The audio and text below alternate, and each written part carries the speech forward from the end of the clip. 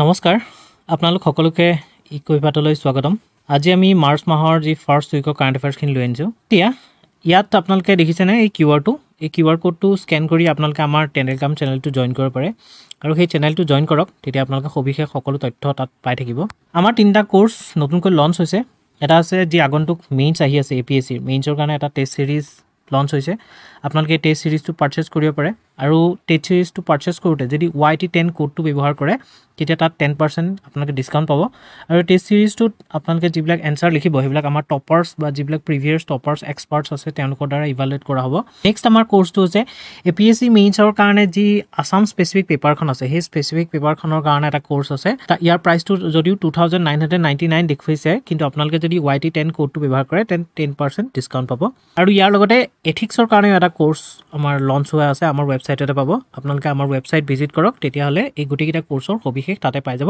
আৰু যদিহে কিবা এক্সট্ৰা ইনফৰ্মেশ্যন জানিব বিচাৰে এই কোৰ্চকেইটাৰ বিষয়ে তেতিয়া স্ক্ৰীণত দেখুওৱা যিটো নম্বৰ আছে সেই নম্বৰটো ডাইল কৰিলেও তেওঁলোকে আপোনালোকক ভালকৈ বুজাই দিব।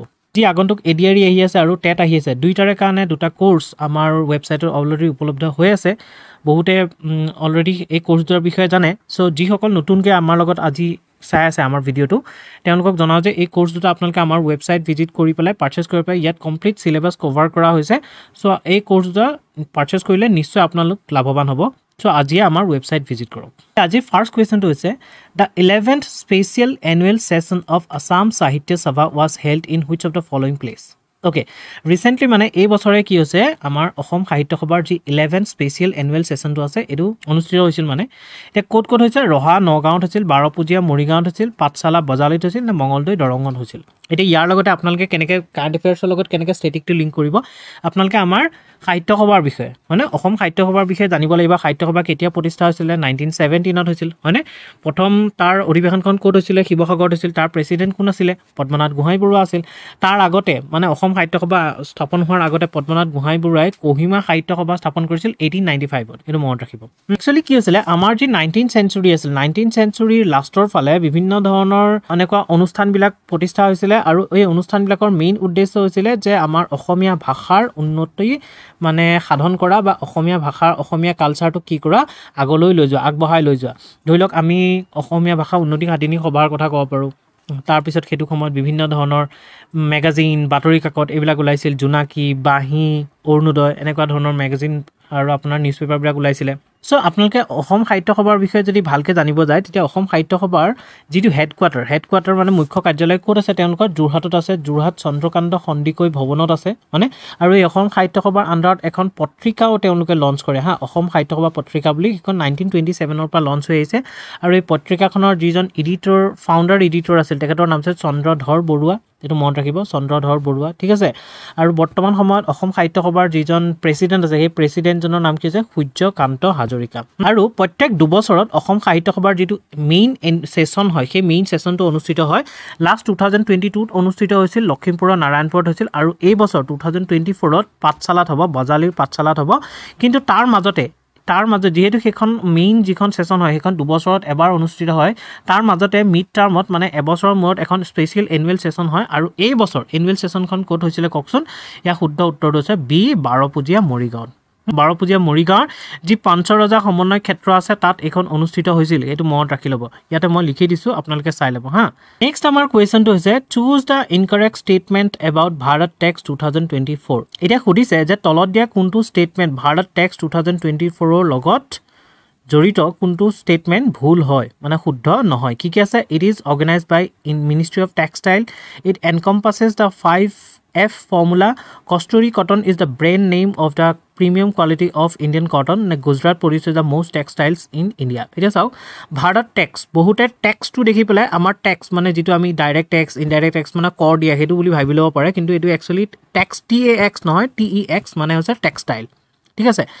এইটো একচুৱেলি এই যিটো ভাৰত টেক্স প্ৰগ্ৰামটো আছে এই প্ৰগ্ৰামটো আপোনাৰ ইউনাইটেড নেশ্যনৰ যি এনভাইৰমেণ্ট প্ৰগ্ৰাম আছে তেওঁলোকৰ সৌজন্যত এইটোক অনুষ্ঠিত কৰা গৈছিলে। আৰু এইটো কাৰ ইনিচিয়েটিভ হয়? মিনিষ্ট্ৰি অফ টেক্সটাইলৰ ইনিচিয়েটিভ হয় so' statement one two correct আৰু ষ্টেটমেণ্ট টুত যি দিয়া আছে it encompasses five F formula কোনে প্ৰমোট কৰিছিলে? আমাৰ প্ৰধানমন্ত্ৰীয়ে প্ৰমোট কৰিছিলে। ফাইভ এফত কি কি আছিলে? ফাৰ্ম আছিলে ফেক্টৰী আছিলে। Farm factory fibre fashion foreign মানে এনেকুৱা আছিলে ফাৰ্ম টু ফাইবাৰ ঠিক আছে? ফাৰ্মৰ পৰা fibre fibre to factory factory to fashion fashion to foreign ঠিক আছে? এইটো আপোনাৰ এই ফাইভ এফ ফৰ্মুলা নেক্সট আছে Kasturi cotton is the brand name of premium quality of Indian cotton মানে আমাৰ ইণ্ডিয়ান কটনৰ যিটো কোৱালিটি আপোনালোকে যদি মন কৰিব ইণ্ডিয়া ৱৰ্ল্ডৰ লাৰ্জেষ্ট প্ৰডিউচাৰ হয় কটনৰ আৰু ইণ্ডিয়া ৱৰ্ল্ডৰ লাৰ্জেষ্ট কনজিউমাৰ হয়। আৰু সেইটো কাৰণে ৱৰ্ল্ডৰ থাৰ্ড লাৰ্জেষ্ট এক্সপৰ্টাৰ হৈছে ইণ্ডিয়া মানে ইণ্ডিয়াই চবতকৈ লাৰ্জেষ্ট প্ৰডিউচ প্ৰডাকশ্যনো কৰে আৰু কনজিউমো কৰে। আৰু ইণ্ডিয়ান যিটো কটন আছে সেই কটনটোৰ বহুত ডিমাণ্ড আছে। ডিমাণ্ড থকাৰ কাৰণে কি কৈছে আমাৰ এই ইণ্ডিয়ান কটনটোক এটা নতুনকৈ ব্ৰেণ্ড নেম এটা দিছে কষ্টুৰি কটন ভাৰত বুলি। কেতিয়াৰ পৰা? টু থাউজেণ্ড টুৱেণ্টি থ্ৰীত দিছে আৰু আপোনালোকে মন কৰিব অক্টোবৰৰ সাত তাৰিখটো ৱৰ্ল্ড কটন ডে হিচাপে উদযাপন কৰা হয়।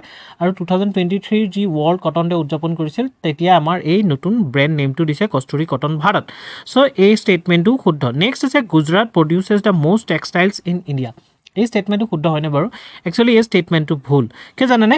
গুজৰাটে মো largest number of cotton produce কৰে। মানে ইণ্ডিয়াৰ ষ্টেটবিলাকৰ ভিতৰত চবতকৈ লাৰ্জ নাম্বাৰ অফ কটন ক'ত প্ৰডিউচ হয়? গুজৰাটত প্ৰডিউচ হয়। কিন্তু ইয়াত কটনৰ কথা কোৱা নাই। টেক্সটাইলৰ কথা কৈছে কাপোৰৰ কথা কৈছে কাপোৰ প্ৰডাকশ্যনৰ কথা কৈছে। চ' ইয়াৰ শুদ্ধ উত্তৰটো হয় Maharashtra Maharashtra produces the most textiles in India that's why ইয়াত যিটো অপশ্যন ডি আছে D option is incorrect so' আমাৰ এনচাৰটো কোনটো? ডি চাওক ইয়াত মই লিখি দিছোঁ গোটেইখিনি কথা। ফাইভ এফ ফৰ্মুলাটো মই কৈছোঁ farm to fibre fibre to factory factory to fashion fashion to foreign এইটো বস্তু মনত ৰাখি ল'ব হা? আৰু লাৰ্জেষ্ট ইণ্ডিয়া কি হৈছে? লাৰ্জেষ্ট প্ৰডিউচাৰ হয় আৰু লাৰ্জেষ্ট কনজিউমাৰ হয় আৰু থাৰ্ড লাৰ্জেষ্ট কি হয়? এক্সপৰ্টাৰ হয়। আৰু কোন মিনিষ্ট্ৰী আণ্ডাৰত হয়? মিনিষ্ট্ৰী অফ টেক্সটাইলৰ আণ্ডাৰত হয়।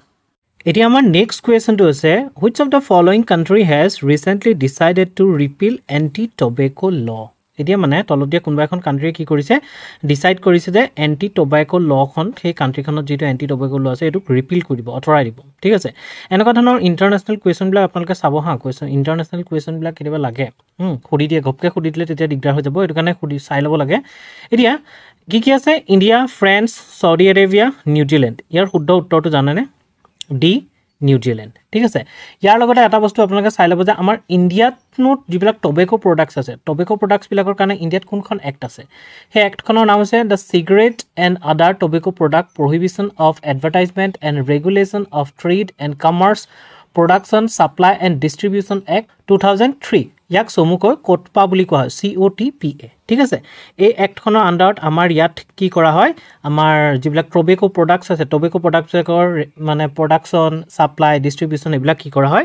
ৰেগুলেট কৰা হয়। আৰু এই এক্টখনৰ আণ্ডাৰতে আপোনালোকে টবেকো প্ৰডাক্টছবিলাক চাবচোন যেনেকৈ চিগাৰেটেই হৈ গ'ল বিড়িয়ে হৈ গ'ল বা গুটখা পেকেটবিলাকে হ'ল।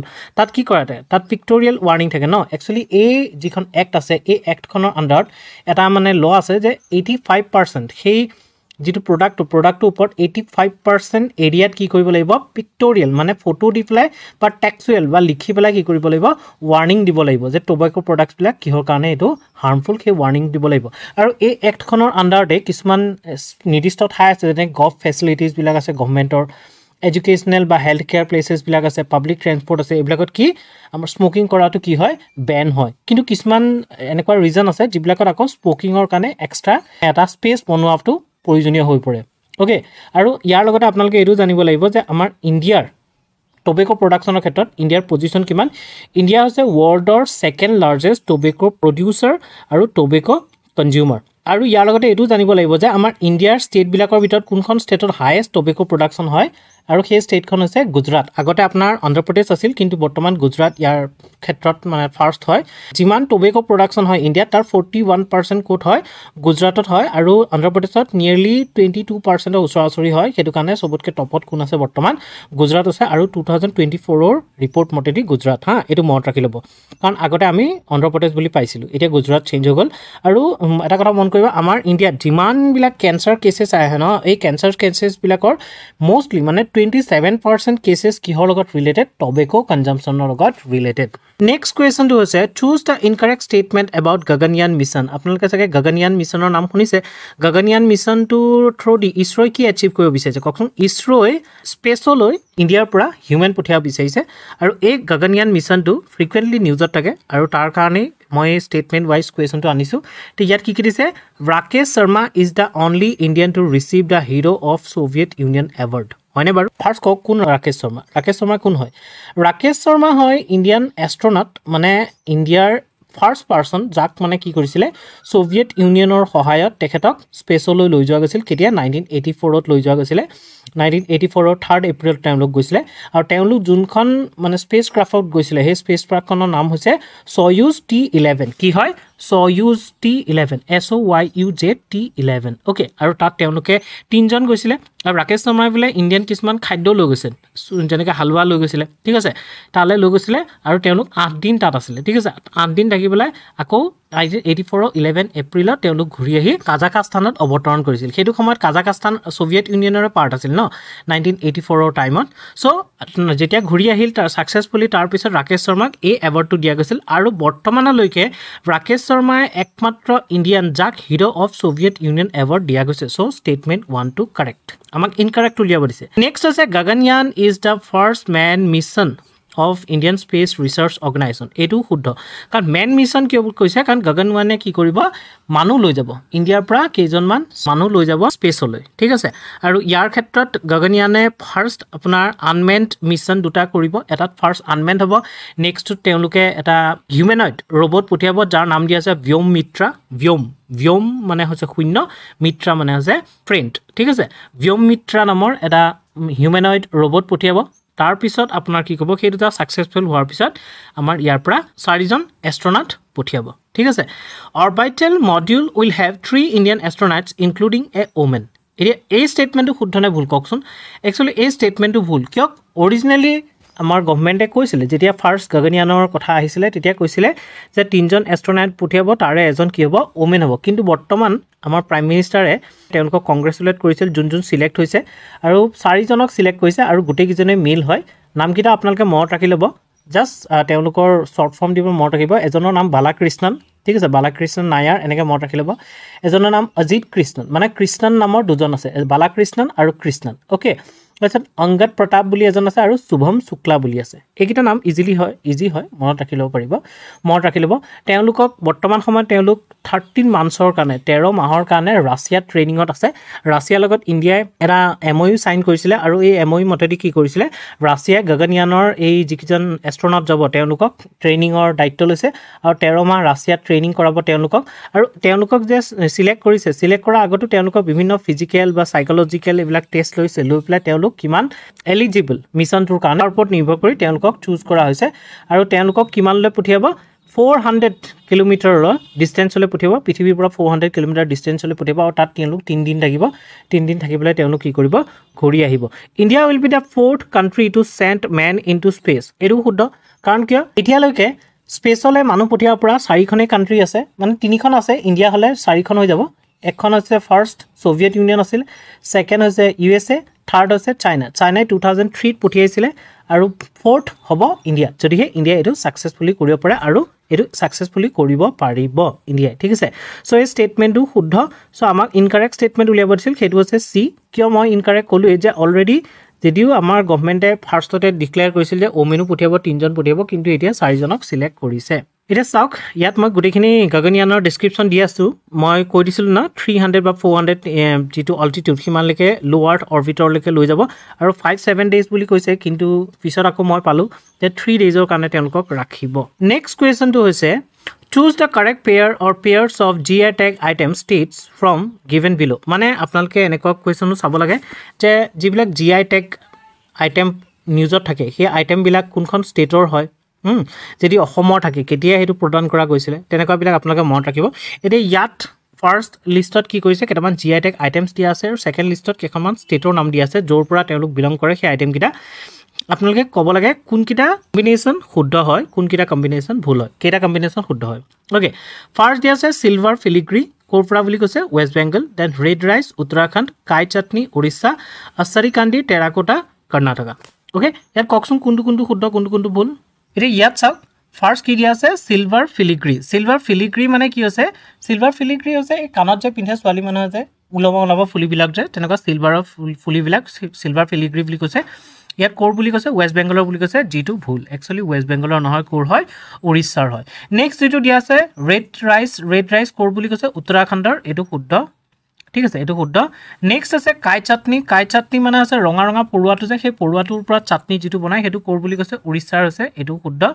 নেক্সট আছে আচাৰী কান্তি টেৰাকটা ক্ৰাফ্ট এইটো ক'ৰ বুলি কৈছে? কৰ্ণাটকা এইটো একচুৱেলি ভুল। আচাৰী কান্তি টেৰাকটা ক্ৰাফ্ট ক'ৰ হয়? অসমৰ হয়। অসমৰ হয় ঠিক আছে? আছামৰ হয় ক'ৰ হয়? ধুবুৰীৰ হয়। অসমৰ ধুবুৰীৰ হয়। এই ৰিচেণ্টলি আপোনাৰ এই জি আই টেগটো পাইছে। একচুৱেলি কি হয় সেই ধুবুৰীৰ যিটো আচাৰীকান্দি ভিলেজ আছে তাত মানে কমচে কম আশীটামান পৰিয়াল আছে তেওঁলোকে এই টেৰাকটা ইণ্ডাষ্ট্ৰীৰ লগত জড়িত হৈ আছে। ঘৰতে তেওঁলোকে বনায় আৰু বিৰাট ধুনীয়া বনায় আৰু ইয়াৰে ক্ষেত্ৰত যি হাতীমাহ দৌল আছে হাতীমাহ দৌলটো বহুত বেছি ফেমাছ হয়। চ' এইটো মনত ৰাখিব যে এই ডিটো যিটো আছে আচাৰীকান্দি টেৰাকটা ক্ৰাফ্ট ক'ৰ হয় অসমৰ হয় আৰু টু থাউজেণ্ড টুৱেণ্টি ফ'ৰত ইয়াক কি দিয়া গৈছিলে জি আই টেক দিয়া গৈছে। হৈছে? চ' আমাৰ কেইটা শুদ্ধ হ'ল? দুটা শুদ্ধ হ'ল? কোনকেইটা শুদ্ধ হ'ল? বি শুদ্ধ হ'ল? আৰু চি শুদ্ধ হ'ল। এ আৰু ডি ভুল। চ' আমাৰ শুদ্ধ উত্তৰ কোনটো হ'ব? এ বি আৰু চিটো শুদ্ধ। চাওক মই অলৰেডি আপোনালোকক কৈ আহিছিলোঁ ন চিলভাৰ ফিলিগ্ৰী ক'ৰ হয় উৰিষ্যাৰ হয় ৰেড ৰাইচ ক'ৰ হয় উত্তৰাখণ্ডৰ হয় কাই চাটনি ক'ৰ হয় উৰিষ্যাৰ হয় আচাৰ কান্তি ক'ৰ হয় অসমৰ হয়। ঠিক আছে? এইকেইটা মনত ৰাখি ল'ব। আৰু অসমৰ যিমানকেইটা নতুনকৈ আপোনাৰ সংযোজিত কৰিছে জি আই টেগৰ আইটেমছ সেই গোটেইকেইটা মনত ৰাখি ল'ব। Next কুৱেশ্যনটো what is the name of the first female sniper of B S F ইয়াত বেলেগ আৰু একো জানিবলগীয়া নাই। মানে ৰিচেণ্টলি বি এছ এফৰ ফাৰ্ষ্ট ফিমেল স্নাইপাৰ হিচাপে কাক নিযুক্তি দিছে কি কি আছে? Suman Kumari Prerna Deochali then Shalija Dhami then Deepika Mishra. কওকচোন কোন হয়? ইয়াৰ শুদ্ধ উত্তৰটো হৈছে এ সুমন কুমাৰী। এতিয়া বি এছ এফৰ কথা মনত ৰাখিব। বি এছ এফ হৈছে ৱৰ্ল্ডৰ largest border guarding force B S এফে কোনকেইটা বৰ্ডাৰ গাৰ্ড কৰে? ইণ্ডিয়াৰ ইণ্ডিয়া পাকিস্তান আৰু ইণ্ডিয়া বাংলাদেশ বৰ্ডাৰ গাৰ্ড কৰে। আৰু বি এছ এফক ফাৰ্ষ্ট লাইন অফ ডিফেন্স বুলি কোৱা হয় এইটো মনত ৰাখিব। একচুৱেলি কি হ'ল নাইনটিন ছিক্সটি ফাইভত ইণ্ডিয়া পাকিস্তানৰ যি যুদ্ধ সেই যুদ্ধৰ পিছতে বি এছ এফক এষ্টাব্লিছ কৰা গৈছিল ডিচেম্বৰ মাহত নাইনটিন ছিক্সটি ফাইভৰ ডিচেম্বৰ মাহত। ইমানখিনি মনত ৰাখিব। আৰু ইয়াৰ শুদ্ধ উত্তৰটো কিন্তু A. Suman Kumari. Next question match the following list ইয়াত মানে কেইটামান ডে দিয়া আছে। ডে'কেইটাৰ আপোনাৰ মানে কি কাৰণে উদযাপন কৰা হয় এইটো দিয়া আছে আৰু তাৰ ডেটটো দিয়া আছে। মেটচ কৰিব লাগে। এতিয়া কি কি আছে? নেশ্যনেল ছেফটি দিয়া আছে ৱৰ্ল্ড ৱাইল্ড লাইফ ডে আছে জিৰ' ডিছক্ৰিমিনেশ্যন ডে আছে international day for disarmament and non proliferation awareness এতিয়া এই ডে'কেইটা কোনকেইটা হয়? কওকচোন। ইয়াত চাওক যিটো দিয়া আছিলে national safety day national safety day actually nineteen seventy টুত যি আমাৰ ministry of labour and employment আছে তেওঁলোকৰ আণ্ডাৰত নেশ্যনেল ছেফটি কাউঞ্চিল গঠন কৰা গৈছিল। আৰু যিটো দিনত গঠন কৰা গৈছিল সেই দিনটোকে কি বুলি কোৱা হয়? নেশ্যনেল ছেফটি ডে উদযাপন কৰা হয়। সেইটো কেতিয়া হৈছিলে? মাৰ্চৰ ফ'ৰ তাৰিখে। হ'ল নেক্সট আছে world wildlife day world wildlife day কেতিয়া অনুষ্ঠিত কৰা হয়? কেতিয়া উদযাপন কৰা হয়? ইয়াৰ শুদ্ধটো হৈছে তিনি মাৰ্চত। অ'কে নেক্সট আছে zero' discrimination day zero' discrimination day কেতিয়া উদযাপন কৰা হয়? জিৰ' ডিছক্ৰিমিনেশ্যন কোনো ডিছক্ৰিমিনেশ্যন নহয় মানে। এক মাৰ্চত। হ'ল আৰু আমাৰ যিটো আছে ইণ্টাৰনেশ্যনেল ডে ফৰ ডিজাৰ্মামেণ্ট এইটো কেতিয়া অনুষ্ঠিত কৰা হয়? পাঁচ মাৰ্চত অনুষ্ঠিত কৰা হয়। ইয়াত যিটো দিয়া আছে international day for disarmament and non proliferation awareness year main মিনিংটো একচুৱেলি হৈছে যে ধৰি লওক আমাৰ যিবিলাক কাণ্ট্ৰি আছে কাণ্ট্ৰিবিলাকৰ যিবিলাক আৰ্মছ বা এমুনিশ্যনছবিলাক আছে যিবিলাক ফ'ৰ্চ আছে বা নিউক্লিয়াৰ ৱেপনছেই হওক বা যিমানবোৰ ৱেপনছ আছে সেই ৱেপনছবোৰ যেতিয়ালৈকে থাকিব তেতিয়ালৈকে কি হ'ব? এখন দেশে আনখন দেশৰ লগত শত্ৰুতা কৰিবই বা ৱেপনছবোৰ থাকিলে মানে ধ্বংসৰ পৰিমাণ হোৱাটো ফিউচাৰত বেছি এটা সম্ভাৱনা থাকে। আৰু সেইটো কাৰণে আমি যদি সেই ৱেপনছবিলাকে ধ্বংস কৰি দিওঁ ৱেপনছবিলাক নাৰাখোৱেই তেতিয়া কি হ'ব? তেতিয়া কোনো ফিউচাৰত তেনেকুৱা ৱাৰ হ'লেও বা ইমান ধ্বংস হোৱাৰ কোনো চান্স নাথাকে। এতিয়া ফিউচাৰত এতিয়া ভাবি চাওক যে ৱৰ্ল্ডৰ প্ৰত্যেকখন কাণ্ট্ৰিৰ আণ্ডাৰত যদি তেওঁলোকৰ লগত যদি নিউক্লিয়াৰ পাৱাৰ থাকে তেতিয়া কোনে কাক নিউক্লিয়াৰ পাৱাৰে এটেক কৰে কোনো ঠিক নাই হয় নাই? চ' পৃথিৱীখন ধ্বংস হৈ যাব। চ' আমি কি কৰিব লাগে? নিউক্লিয়াৰ পাৱাৰ যিমানবোৰ কাণ্ট্ৰি আছে যিবিলাক ৰেচপনচিবল কাণ্ট্ৰি তেওঁলোকৰ আণ্ডাৰত থকা নিউক্লিয়াৰ পাৱাৰবিলাকো বা বাকীবিলাক কাণ্ট্ৰিৰ আণ্ডাৰত থকা নিউক্লিয়াৰ পাৱাৰবিলাকো কি কৰিব লাগে? ডেষ্ট্ৰয় কৰি দিব লাগে হয়নে এতিয়া ইয়াত যিটো মেটচ কৰিব দিলে মেটচ কৰি আমি পালোঁ যে এ লগত থ্ৰী মেটচ হৈ আছে বি লগত ওৱান মেটচ হৈ আছে চি লগত ফ'ৰ মেটচ হৈ আছে। কোনটোত মিলিছে? চাওকচোন।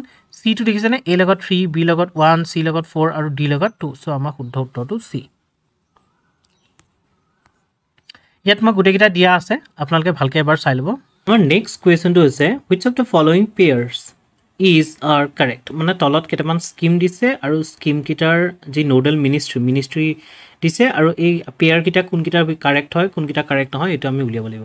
কি কি স্কিম আছে ADITI scheme P M Vishwakarma scheme Kusum scheme Poshan হয়নে আদিতি স্কিম আদিতি স্কিমটো কেতিয়া লঞ্চ কৰিছিল কওকচোন এই ৰিচেণ্টলি টু থাউজেণ্ড টুৱেণ্টি ফ'ৰত যি ডিফ কানেক্ট হৈছিল ডেফ কানেক্ট তাত আপোনাৰ আদিতি স্কিমটো লঞ্চ কৰিছিল আৰু ইয়াৰ ফুল ফৰ্ম হৈছে acing development of innovative technologies with iDEX D E X okay আৰু এই স্কিমটোৰ মেইন উদ্দেশ্য হৈছে ডিফেন্স টেকন'লজিত ইন'ভেশ্যন প্ৰমোট কৰা। আৰু এই স্কিমটোৰ আণ্ডাৰত কি কৰিব জানেনে?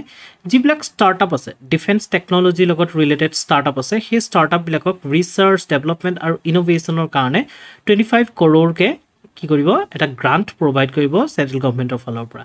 চ' ইয়াৰ পৰা আমি গম পালোঁ যে এই স্কিমটো কিহৰ লগত ৰিলেটেড ডিফেন্সৰ লগত। মানে কোন মিনিষ্ট্ৰীয়ে লঞ্চ কৰিব? মিনিষ্ট্ৰী অফ ডিফেন্সে লঞ্চ কৰিব। কিন্তু ইয়াত কি আছে? Ministry of home affairs so' এই পেয়াৰটো ৰং ঠিক আছে? নেক্সট আছে P M Vishwakarma scheme P M Vishwakarma scheme কেতিয়া লঞ্চ কৰিছিল? যোৱা বছৰ মানে টু থাউজেণ্ড টুৱেণ্টি থ্ৰীৰ ছেপ্টেম্বৰৰ সোতৰ তাৰিখে লঞ্চ কৰিছিল আৰু এইটো এটা চেণ্ট্ৰেল ছেক্টৰ স্কিম হয়। এই স্কিমটোৰ আণ্ডাৰত কি কৰিছিল? যিবিলাক আমাৰ লোকেল আৰ্টিষ্টানছ আছে। সেই লোকেল আৰ্টিষ্টানছবিলাকক মানে যিবিলাক ক্ষুদ্ৰ মানে আৰ্টিষ্টানছ আছে সেই আৰ্টিষ্টানছবিলাকক ইয়াৰ আণ্ডাৰত ট্ৰেইনিং প্ৰভাইড কৰিব। ট্ৰেইনিঙৰ পিৰিয়ডৰ সময়ত তেওঁলোকক ষ্টাইপেণ্ড দিব। ট্ৰেইনিং শেষ হোৱাৰ পিছত তেওঁলোকক ফিফটিন থাউজেণ্ডৰ এটা ফাইনেন্সিয়েল এছিষ্টেঞ্চ দিব যাতে তেওঁলোকে নতুন নতুন টুলছবিলাক কিনিব পাৰে। ইয়াৰ লগতে স্কিমটোৰ আণ্ডাৰত যদি ৰেজিষ্টাৰ কৰে তেওঁলোকে এখন এখন আই কাৰ্ড পাব আই ডি কাৰ্ড পাব। এই স্কিমটো কোনে লঞ্চ কৰিছিলে? ইয়াত দিয়া আছে মিনিষ্ট্ৰী অফ স্কিল ডেভেলপমেণ্ট ন? কিন্তু ইয়াৰ নোডেল মিনিষ্ট্ৰী হৈছে ministry of M S M E micro' small and medium enterprises ঠিক আছে? চ' এই যিটো কম্বিনেশ্যন আছে এইটো ভুল। নেক্সট আছে P M Kusum scheme P M কুসুমটো কেতিয়া লঞ্চ কৰিছিল? টু থাউজেণ্ড নাইনটিনত লঞ্চ কৰিছিল আৰু পি এম কুসুমৰ ফুল ফৰ্মটো কি আছে? কিষাণ উৰ্জা সুৰক্ষা এৱম উত্তম মহাঅভিযান অ'কে এতিয়া এই কুসুম স্কিমটোৰ মেইন উদ্দেশ্য কি আছিল? যে যি off grid solar pump provide কৰা ৰুৰেল এৰিয়াজ মানে কি হয়? অফ গ্ৰিড মানে কি মানে? কি বুজাইছে? অন গ্ৰিড অফ গ্ৰিড মানে কি হৈছে? মানে আমি যে ধৰি লওক খুটাৰ পৰা তাঁৰবোৰ টানো টানি পেলাই ঘৰত কাৰেণ্ট লওঁ ন? চ' সেইটোক কি বুলি কোৱা হয়? গ্ৰীড কানেকশ্যন বুলি কয়। গ্ৰীড কানেক্টিভিটি বুলি কোৱা হয়। ঠিক আছে? কিন্তু ইয়াত অফ গ্ৰীড বুলি কৈছে। মানে কি কৰিব? যিবিলাক আমাৰ খেতিপথাৰত পানী দিয়াৰ কাৰণে যি আপোনাৰ কাৰেণ্ট বেলেগৰ পৰা টানিব লগা হয় তাৰ পৰিৱৰ্তে সেই জেগাটোত এটা চ'লাৰ পেনেল বনাব। সেই চ'লাৰ পেনেলটোৰ পৰা ডাইৰেক্ট ক'লক কানেক্ট কৰিব পাম্পত কানেক্ট কৰিব। এতিয়া সেই চ'লাৰ পেনেলটোৱে সূৰ্যৰ পোহৰত যি ইলেক্ট্ৰিচিটি জেনেৰেট কৰিব সেই ইলেক্ট্ৰিচিটি ইউজ কৰিয়ে পাম্পটো চলাব। হয় নাই? হ'লনে এইটো অফ গ্ৰিড কানেক্টিভিটি চ' এই স্কিমটোৰ মেইন উদ্দেশ্য আছিল অফ গ্ৰিড কানেক্টিভিটি প্ৰভাইড কৰা। আৰু ইয়াৰ মিনিষ্ট্ৰী কোন হ'ব? চাওক ইয়াত চ'লাৰ এনাৰ্জি আছে জড়িত হয় হয়নে নহয়? চ' মিনিষ্ট্ৰী হ'ব new and renewable energy so' এই যিটো আপোনাৰ কম্বিনেশ্যন আছে এইটো ভুল। আৰু নেক্সটটো আছে P M Poshan ministry of education চাওক পোষণৰ যিটো স্কিম হয় সেই স্কিমটো আগৰ যিটো মিড ডে মিল স্কিম আছিল সেই মিড ডে মিল স্কিমটোক ৰিপ্লেচ কৰি টু থাউজেণ্ড টুৱেণ্টি ওৱানৰ ছেপ্টেম্বৰক ইয়াক পোষণ শক্তি নিৰ্মাণ হিচাপে নামাংকৰণ কৰিছে ৰিনেইম কৰিছে ঠিক আছে? আৰু এই স্কিমটোৰ আণ্ডাৰত কি কৰিব যিবিলাক গভমেণ্ট বা গভমেণ্ট এইডেড স্কুলছ আছে তাৰ চিলড্ৰেনবিলাকক ষ্টুডেণ্টবিলাকক ওৱান হট কুক মিল দিব য'ত নিউট্ৰিশ্যন প্ৰভাইড কৰা যাব আৰু বিশেষকৈ এই স্কিমটোৰ আণ্ডাৰত মিলেটছৰ প্ৰয়োজনত বা মিলেটছ ব্যৱহাৰত বেছি গুৰুত্ব দিয়া হ'ব। আৰু এই স্কিমটোৰ নিচিনাকৈ আৰু এটা স্কিম আছে কিন্তু সেইটো হৈছে সক্ষম অংগনবাদী পোষণ টু পইণ্ট অ' অ'কে সেইটো কিন্তু আপোনাৰ women and child development ministry আণ্ডাৰত হয় যিটো সক্ষম অংগনবাদী বুলি আছে। Section Anganwadi and Poshan two point o' হৈছে? সেইটো কনফিউজ নহ'ব কিন্তু যিটো পি এম পোষণ আছে পি এম পোষণটো মিনিষ্ট্ৰী অফ এডুকেশ্যনৰ আণ্ডাৰত পৰে কাৰণ এইটোৱে কাক ৰিপ্লেচ কৰিছিলে? মিড ডে মিল প্ৰগ্ৰামটোক ৰিপ্লেচ কৰিছিলে হয়নে? এতিয়া আমাৰ ইয়াত কোনটো কাৰেক্ট সুধিছিল ন? কোনটো পেয়াৰ কাৰেক্ট সুধিছিল? চ' এনচাৰটো হ'ব ডি অনলি তলৰ যিটো আছে একদম লাষ্টত ডি অনলি অপশ্যন ডি অপশ্যনটো কাৰেক্ট মানে পষ্ট পি এম পোষণ কোন মিনিষ্ট্ৰী মিনিষ্ট্ৰী অফ এডুকেশ্যন আপোনালোকে যিমানবোৰ স্কিম আছে স্কিমবোৰ চাব আৰু যিবিলাক ৰিচেণ্টলি মানে নিউজত আছে বা যিবিলাক কাৰেণ্টলি চলি আছে সেই স্কিমবিলাকৰ নোডেল মিনিষ্ট্ৰী চাব। আৰু কেতিয়াবা লঞ্চ কৰিছিল সেইখিনি চাই ল'ব। এতিয়া ইয়াত মই গোটেইখিনি দি দিছোঁ। এই যিখিনি স্কিম আছিল সেইখিনি চাই লওক। নেক্সট আমাৰ কুৱেশ্যনটো হৈছে which of the following country has recently became the first country in the world to declare right to abortion as its fundamental right okay মানে ইয়াত কি কৈছে তলত দিয়া কোনখন কাণ্ট্ৰিয়ে ৰাইট টু এবৰ্চনক ফাণ্ডামেণ্টেল ৰাইট হিচাপে ডিক্লেয়াৰ কৰিছে? ৰাইট টু এবৰ্চন ইণ্ডিয়াৰ ফাণ্ডামেণ্টেল ৰাইট হয়নে বাৰু কওকচোন?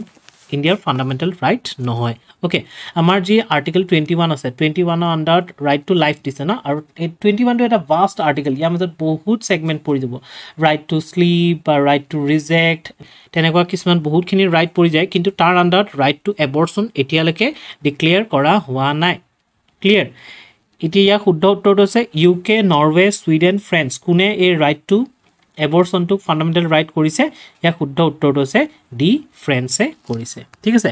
ফ্ৰেন্সৰ মতে ফৰ্টিন উইকছলৈকে কি কৰিব পাৰিব? এবৰচন কৰিব পাৰিব। আমাৰ ইণ্ডিয়াত কিন্তু কোনটো এক্টৰ আণ্ডাৰত এই ৰাইট টু এবৰচনটো ৰেগুলেট হয়?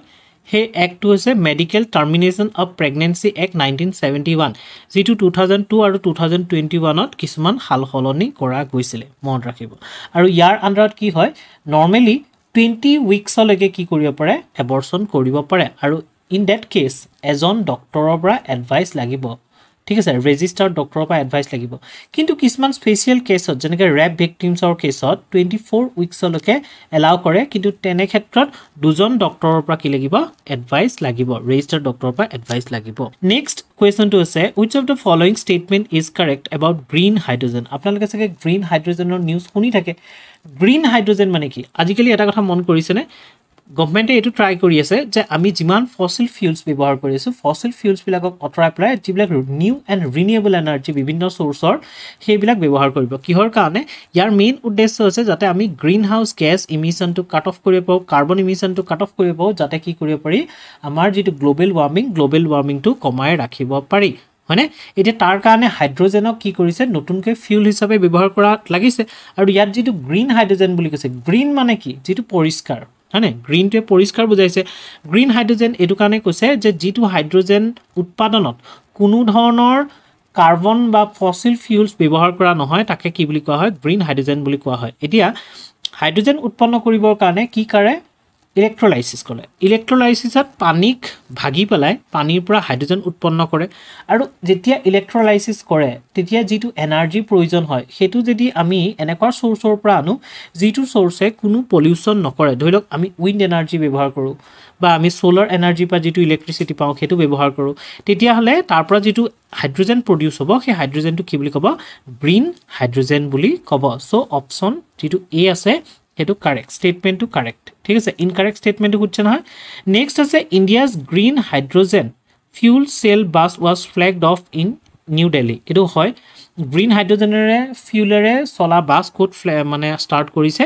নিউ দেলহিত ষ্টাৰ্ট কৰিছে so' statement B is correct next C ষ্টেটমেণ্টটো চাওক India's first green hydrogen plant in stainless steel sector had been inaugurated in Haryana এইটো কাৰেক্ট হয় নেক্সট আছে India establish the national green hydrogen mission on January four two thousand twenty এই ষ্টেটমেণ্টটো actually wrong actually কি হৈছিলে January four two thousand twenty থ্ৰীত green hydrogen মিছনটো অনা গৈছিলে আৰু গ্ৰীণ হাইড্ৰজেন মিছনটোৰ মেইন উদ্দেশ্য আছিল যে কিমান five million tons of green hydrogen উৎপন্ন কৰা। আৰু ইয়াৰ মেইন উদ্দেশ্য হৈছিল যে কাৰ্বন ফ্ৰী ইকনমি এটা জেনেৰেট কৰা। যাতে কাৰ্বন ফ্ৰী এইটো কাৰণে কৈছে যাতে তাত কোনো ধৰণৰ ফচিল ফিউল ব্যৱহাৰ নহয় আৰু তেওঁলোকে যাতে কি কৰিব পাৰে যি আমাৰ গ্ৰীণ হাউচ গেছ উৎপন্ন হয় গ্ৰীণ হাউচ গেছৰ ইমিশ্যনটো ৰিডিউচ কৰিব পাৰে। চ' ইনকাৰেক্ট ষ্টেটমেণ্টটো সুধিছে ন অপশ্যনটো হৈছে ডি ডিটো কিয় কাৰণে হ'ল? এইটো টু থাউজেণ্ড টুৱেণ্টি নহয় টুৱেণ্টি থ্ৰী হ'ব লাগে। ইয়াত চাওক মই মেনশ্যন কৰি দিছোঁ কোন মিনিষ্ট্ৰীৰ আণ্ডাৰত পৰিব। Ministry of new and renewable এনাৰ্জিৰ আণ্ডাৰত পৰিব হা? গ্ৰীণ হাইড্ৰজেন মিছন চাই ল'ব। কেতিয়া? টু থাউজেণ্ড নাইনটিনত লঞ্চ কৰা গৈছিল। Next which of the following country has recently launch its Pars one satellite এতিয়া সুধিছে যে ৰিচেণ্টলি পাৰ্চ ওৱান ছেটেলাইট নামৰ ছেটেলাইটটো তলত দিয়া কোনখন কাণ্ট্ৰিয়ে লঞ্চ কৰিছে? এনেকুৱা ছেটেলাইটৰ নিশ্চয় নিউজত থাকে তেতিয়াহ'লে আপোনালোকে এইটো চাই ল'ব। আৰু বিশেষকৈ যিবিলাক কাণ্ট্ৰি বৰ্তমান সময়ত কনফ্লিক্টিং ষ্টেজত আছে। তেনেকুৱাবিলাক চাব লাগিব। এতিয়া কি কি আছে? Russia China Iran Turkey. চাওক ৰাছিয়াও এটা নিউজত আছে কাৰণ ৰাছিয়া আৰু ইউক্ৰেইনৰ যুদ্ধ হৈ আছে। চাইনা আৰু টাৰ্কিত ইমান হোৱা নাই কিন্তু ইৰাণ আৰু ইজৰাইলৰ যুদ্ধ হৈ আছে। চ' এনেকুৱা ধৰণৰ যিবিলাক নিউজত থকা কাণ্ট্ৰি যিবিলাক কনফ্লিক্ট হৈ আছে বৰ্তমান তেনেকুৱা কাণ্ট্ৰিবিলাকৰ যদি কিবা লঞ্চ কৰে কিবা মানে নতুনকৈ টেকন'লজি উদ্ভৱ কৰে সেইবিলাক বস্তু আপোনালোকে চাই ল'ব নিউজত আৰু এই যিটো পাৰ্চ ওৱান হয় এইটো এটা ডমেষ্টিকেলি ডেভেলপড মানে শুদ্ধ উত্তৰটো কৈ লওঁ। C Iran. ইৰাণে ডমেষ্টিকেলি ডেভেলপ কৰা এটা ছেটেলাইট হয় আৰু এইটো ৰিম'ট চেঞ্চিং ছেটেলাইট হয়।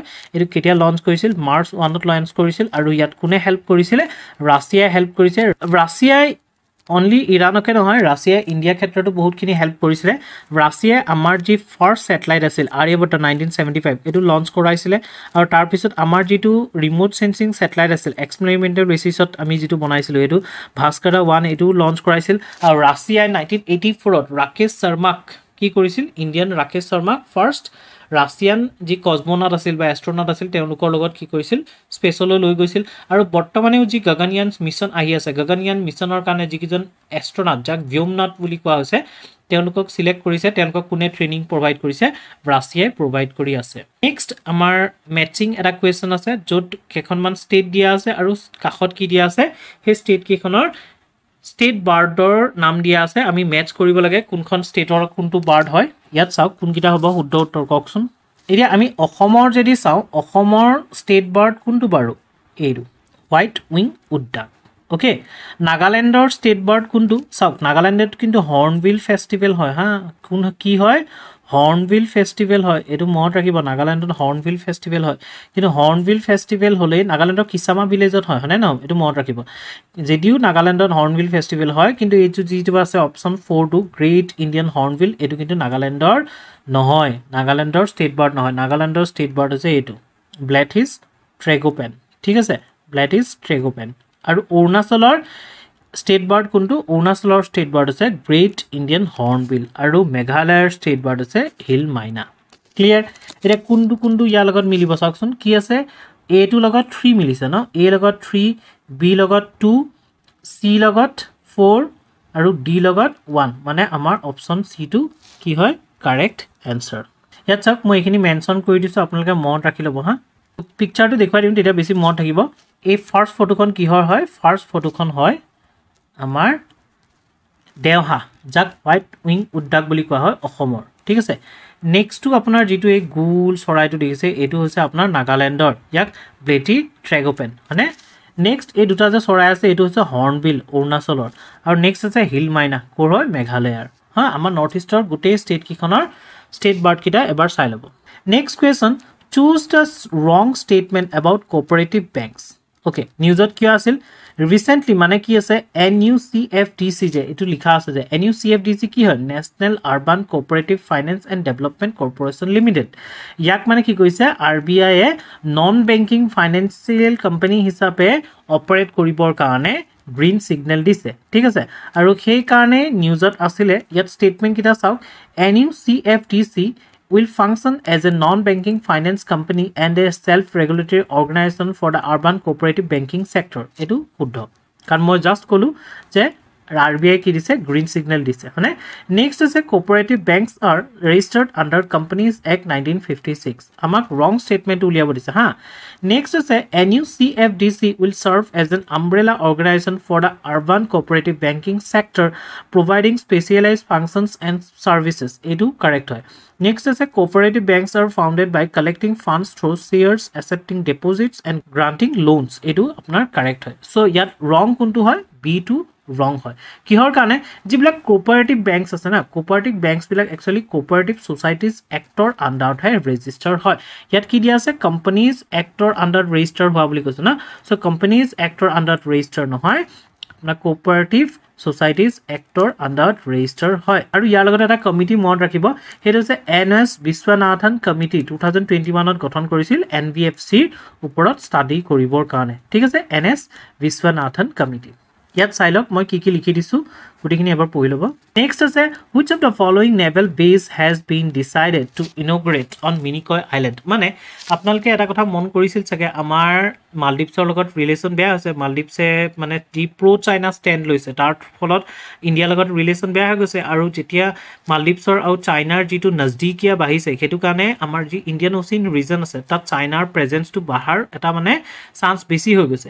আৰু যদি চাইনাৰ প্ৰেজেঞ্চ বাঢ়ে তেতিয়াহ'লে সেই এৰিয়াত যিবিলাক চি লাইনছ অফ কমিউনিকেশ্যন আছে বা আমাৰ যি এৰিয়া আমাৰ চাউথৰ এৰিয়াটো আছে সেই এৰিয়াটো এটা থ্ৰিট প্ৰজেছ কৰিব।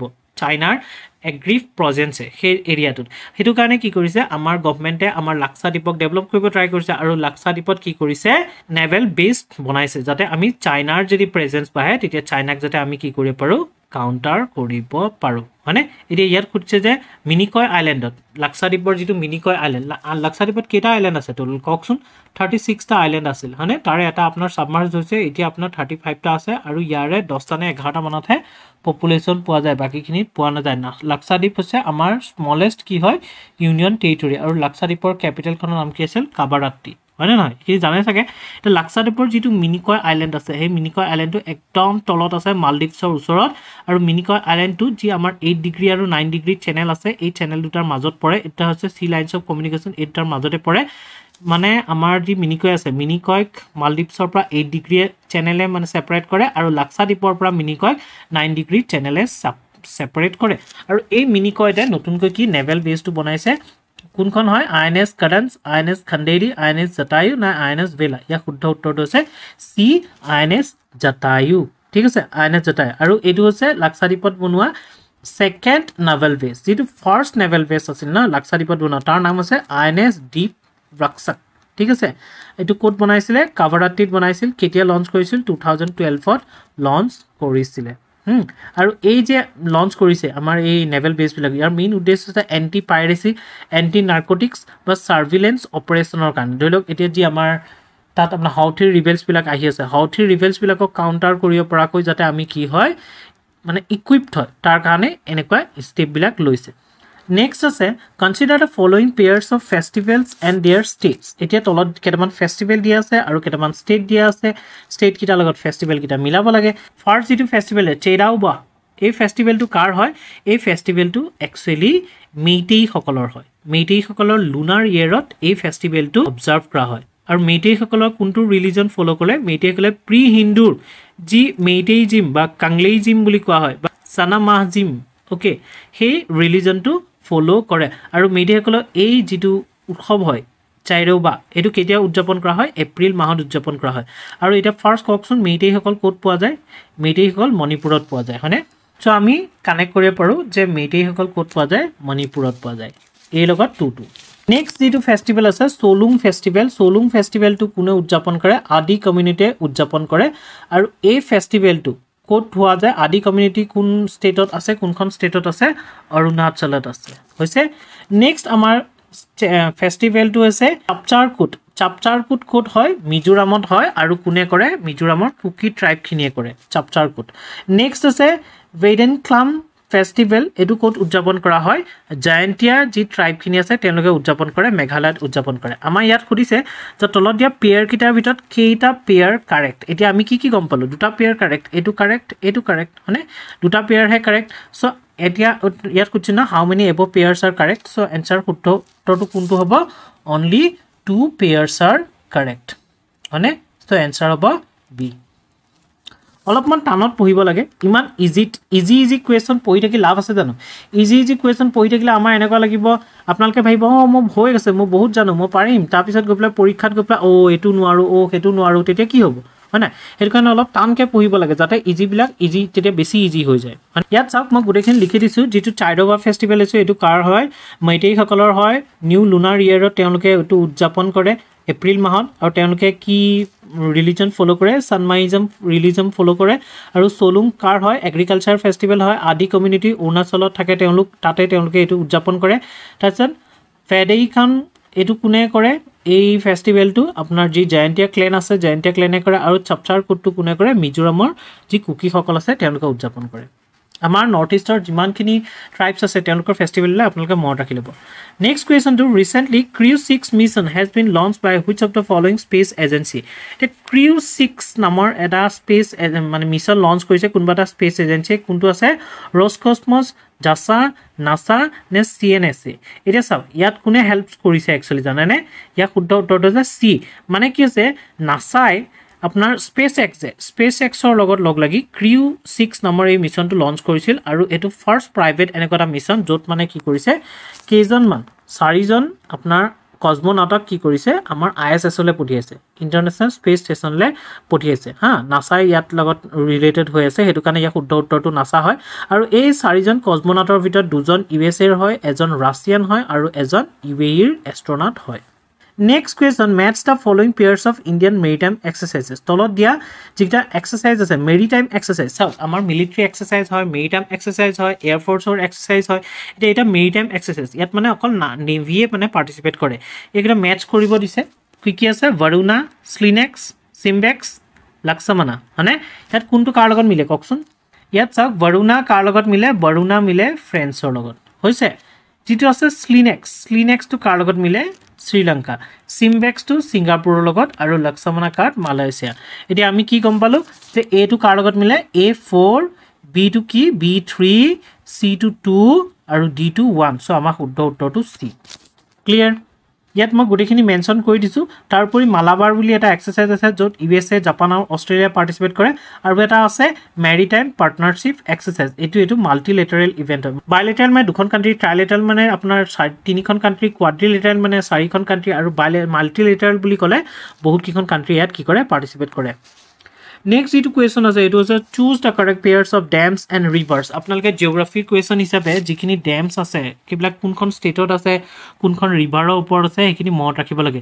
কি কি আছে? টেহৰী ডেম চাহপুৰ কান্দি বেৰেজ ইণ্ডিয়া সাগৰ ডেম যি মেটু ডেম ইয়াৰ শুদ্ধ উত্তৰকেইটা কওকচোন কোনটো কাৰ লগত মেটছ হৈ আছে? ইয়াত চাওক যিটো টেহৰী ডেম আছে টেহৰী ডেম কোনখন নদীৰ লগত মেটছ হয় জানেনে? ভাগীৰথী। হৈছে? ক'ত আছে? উত্তৰাখণ্ডত আছে আৰু এইটো মাল্টিপাৰ্পাছ ডেম হয়। হৈছে? যিটো চাহপুৰ কান্দি বেৰেজ আছে। চাহপুৰ কান্দি বেৰেজ কাৰ লগত মিলে? ৰবি ৰবিৰ লগত মিলে আৰু এইটো ক'ত আছে আপোনাৰ? পাঞ্জাৱৰ পঠানকোটত আছে। নেক্সট আছে ইন্দিৰা সাগৰ ডেম। ইন্দিৰা সাগৰ ডেম কাৰ লগত মিলে? নৰ্মদা। নৰ্মদাৰ লগত মিলে আৰু এইটো ক'ত আছে? এম পিত আছে। নেক্সট আছে মেথিউ ডেম। মেথিউ ডেমটো ক'ত আছে? তামিলনাডুত আছে আৰু কাবেৰী নদীৰ ওপৰত আছে। চ' ইয়াত কি কি হৈছে? কোনকেইটা কাৰেক্টলি মেথছ বুলি সুধিছিল ন? বি আৰু ডিটো কাৰেক্টলি মেথছ মানে ইয়াত কোনটো হ'ব? শুদ্ধ উত্তৰ বি। মানে বি আৰু ডিটো কাৰেক্টলি মেথছ বিটো এনচাৰ বি এতিয়া আপোনালোকে এইকেইটা ডেম চালেই নহ'ব আৰু অলপ ডেম চাব লাগিব মই গোটেইখিনি দিব নোৱাৰোঁ সেইটো কাৰণে কেইটামান আপোনালোকক ইয়াত উল্লেখ কৰি দিছোঁ। গোটেইখিনি আপোনালোকে নেটত মাৰিলেও পাই যাব গোটেইখিনি এবাৰ চাই ল'ব হা মনত ৰাখি ল'ব।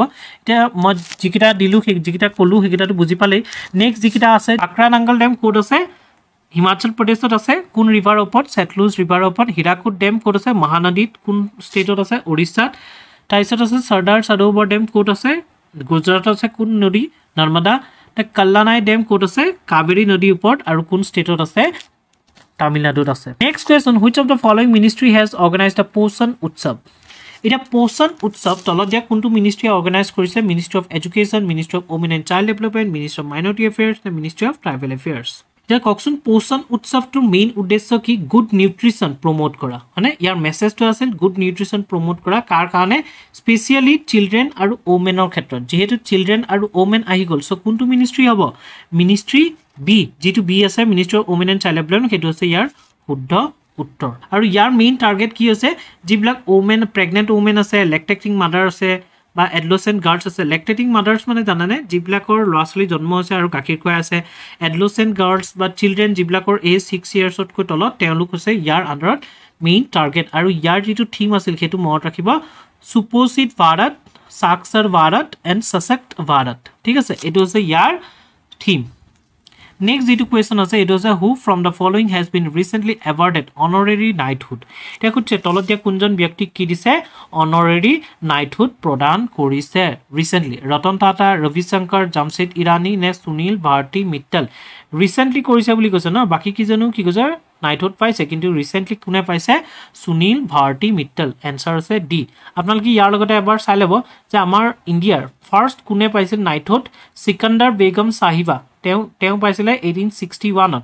আৰু আমাৰ ৰবীন্দ্ৰনাথ টেগোৰেও নাইটহুড পাইছিল। কিন্তু জালিৱানাবাগ যি মাস্কেয়াৰ হৈছিল তাৰ প্ৰটেষ্টত তেওঁ নাইনটিন নাইনটিনত কি কৰিছিল? সেইটো ঘূৰাই দিছিল নাইটহুডটো ঘূৰাই দিছিল। আমাৰ যি মহম্মদ চাদুল্লা আছিল অসমৰ তেওঁকো কি দিছিলে? নাইটহুড দিয়া গৈছিলে। সেইটো কাৰণে তেওঁক ছাৰ চাদুল্লা বুলি কোৱা হয়। ইয়াত লিখা আছে চাওক চিকান্দাৰ বেগম নৱাব বেগম বেগম অফ ভোপাল তেওঁক কেতিয়া দিয়া গৈছিলে? এইটিন ছিক্সটি ওৱানত দিয়া গৈছিলে। আৰু যিকেইটা আপোনাৰ আদাৰ অপশ্যনকেইটা আছে ৰতন টাটা ৰবিশংকৰ জামছেদ ইৰাণী তেওঁলোকেও কি হৈছে? নাইটহুড অলৰেডি পাইছে। নেক্সট কুৱেশ্যনটো আছে consider the following statements about international big cat alliance এইকেইটা A P S C related question হা? এ পি এছ চি টাইপৰ কুৱেশ্যন হয়। চ' অকণ টাফ কৰিছোঁ। এনেকুৱা কুৱেশ্যন কিতাপনো চাব লাগে ন আমি। এতিয়া চাওক international big cat alliance is a global alliance that aims to conserve the world seven main big cats okay হয়নে কথাটো? এতিয়া এই যিটো বিগ কেট এলায়েন্সটো আছিল বিগ কেট এলায়েন্সটো কেতিয়া ফৰ্ম হৈছিলে? টু থাউজেণ্ড নাইনটিনত ইয়াক ফৰ্ম কৰিছিল। এই আইডিয়াটো মোদীজীয়ে টু থাউজেণ্ড নাইনটিনত দিছিল আৰু ইয়াত কিমান মেম্বাৰ আছে? নাইণ্টি ছিক্সখন কাণ্ট্ৰি ইয়াৰ মেম্বাৰ হৈছে। আৰু ইয়াৰ মেইন উদ্দেশ্য হৈছে কি? গোটেই ৱৰ্ল্ড লেভেলত যি সাতটা বিগ কেটৰ ফেমিলি আছে সেই বিগ কেটকেইটা কি কৰা? প্ৰটেক্ট কৰা। ঠিক আছে? চ' ফাৰ্ষ্ট ষ্টেটমেণ্টটো কাৰেক্ট নেক্সট ষ্টেটমেণ্ট দিছে the seven big cats are tigers lions jaguars leopard snow' leopard cougars and cheetahs এতিয়া সাতটা যিকেইটা আপোনাৰ বিগ কেট পৰে এইকেইটাৰ নাম দিয়া আছে সেইকেইটা হয়। চ' ছেকেণ্ড ষ্টেটমেণ্টটো কাৰেক্ট চাওক যেতিয়া এ পি এছ চিত কুৱেশ্যন ছল্ভ কৰিব ন যেতিয়া এম চি কিউ ছল্ভ কৰিব এ পি এছ চি প্ৰিলিমছত তেতিয়া আপোনালোকে এনেকুৱা ধৰণৰ কুৱেশ্যন পাব। এনেকুৱা ধৰণৰ ট্ৰিকি কুৱেশ্যন কিছুমান পাব। আৰু যেতিয়া এনেকুৱা ধৰণৰ ট্ৰিকি কুৱেশ্যন পাব সেই কুৱেশ্যনবিলাকৰ এটা এটা অপশ্যন আপোনালোকে জানিব লাগিব। এটা এটা এলিমিনেট কৰি কৰি গৈ থাকিব লাগিব। কোনটো শুদ্ধ কোনটো শুদ্ধ নহয়। সেইটো কাৰণে ভালকৈ পঢ়িব লাগিব। এইখিনি কিছুমানে নেগলেক্ট কৰিব পাৰে যে ইমান টাফ মই কৈছোঁৱেই যে অকল মই এ ডি আৰ ইৰ কাৰণে নহয় বাকী এ পি এছ চিৰ কাৰণেও ইয়াত কেইটামান কুৱেশ্যন সংলগ্ন কৰি যাম।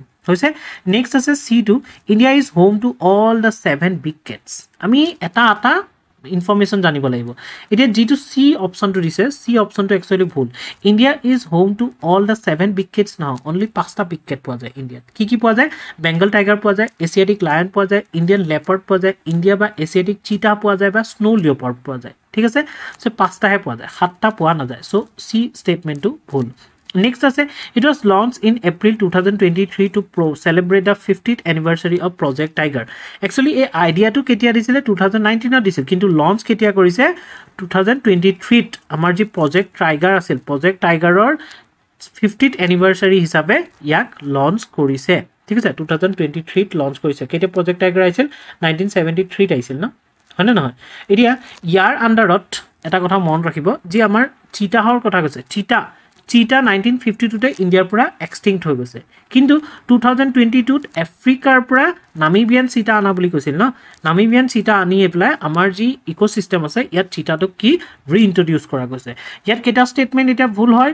এটা ষ্টেটমেণ্ট ভুল বাকীকেইটা কাৰেক্ট চ' ইয়াত অপশ্যনটো হ'ব এ অনলি ওৱান ইয়াত মই লিখি দিছোঁ মেনশ্যন কৰি দিছোঁ যে প্ৰজেক্ট টাইগাৰৰ কি হিচাপে? ফিফটিথ এনিভাৰ্চাৰীৰে টু থাউজেণ্ড টুৱেণ্টি থ্ৰীত ইয়াক লঞ্চ কৰা গৈছিলে। কিন্তু কনচেপ্টটো কেতিয়া দিছিল? টু থাউজেণ্ড নাইনটিনতে দিছিল। আৰু ইয়াৰ ছেক্ৰেটেৰিয়েট ক'ত থাকিব? ইয়াৰ ছেক্ৰেটেৰিয়েট থাকিব ইণ্ডিয়াত। ঠিক আছে? সেইটো মনত ৰাখি ল'ব। Next question consider the following statements about international space station international space ষ্টেচনৰ কথা শুনি থাকে চাগে। এতিয়া ইণ্টাৰনেশ্যনেল স্পেচ ষ্টেচনৰ লগত ৰিলেটেড তলত দিয়া ষ্টেটমেণ্টকেইটা চাওক the construction of the I S S began in nineteen ninety eight এইটো শুদ্ধনে বাৰু? একচুৱেলি এইটো শুদ্ধ। নাইনটিন নাইণ্টি এইটত ইয়াক আৰম্ভ কৰিছিল। নেক্সট আছে space agencies involve in the project including NASA Roscosmos E S A জাছা C N S A N S C S A নাছাটোতো আমেৰিকাৰ হয় জানে? ৰছকছমছ ৰাছিয়াৰ হয়। ই এছ এটো হৈছে ইউৰোপিয়ান স্পেচ এজেঞ্চি জাছাটো হৈছে জাপানৰ চি এন এছ এটো হৈছে চাইনাৰ আৰু চি এছ এটো হৈছে কানাডাৰ এতিয়া ইয়াত কোনটো নহয় জানেনে? চি এন এছ এটো নাই। মানে ইয়াত অনলি নাচা আছে ৰছকছমছ আছে ইউৰোপিয়ান ই এছ এ আছে জাছা আছে জাপানৰ আৰু চি এছ এ কানাডাৰ আছে কানাডাৰ স্পেচ এজেঞ্চি কিন্তু চাইনা ইয়াত নাই। সেইটো কাৰণে ষ্টেটমেণ্ট বিটো কাৰেক্ট নহয়। ঠিক আছে? নেক্সট হৈছে India is also' a member of I S I S India member হয় জানো? ইণ্ডিয়া মেম্বাৰ নহয়। নেক্সট আছে Tiangong is the space station constructed by China এতিয়া টিয়াংগং নামৰ এটা স্পেচ ষ্টেচন কোনে কনষ্ট্ৰাক্ট কৰিছে? চাইনাই কনষ্ট্ৰাক্ট কৰিছে। চ' ইয়াত দুটা ষ্টেটমেণ্ট ভুল বি আৰু চি ষ্টেটমেণ্ট ভুল। আমাক সুধিছে how many above statements is are correct only দুটা কাৰেক্ট হয়নে? এটো কাৰেক্ট আৰু ডিটো কাৰেক্ট এই স্পেচ ষ্টেচনৰ যদি কথা ক'ব যাওঁ স্পেচ ষ্টেচনত কোনে কোনে বনাইছে গম পালোঁ ক'ত আছে? ল' আৰ্থ অৰ্বিটত মানে ফ'ৰ হাণ্ড্ৰেড কিলোমিটাৰ অল্টিটিউডত এইটো আছে। আৰু এইটোৱে কেনেকুৱাকৈ ঘূৰে জানানে? Per hour twenty eight thousand kilometre ঘূৰে। আৰু এভৰি নাইণ্টি মিনিটত ই আৰ্থক ওৱান বাৰ এবাৰ মানে কি কৰে?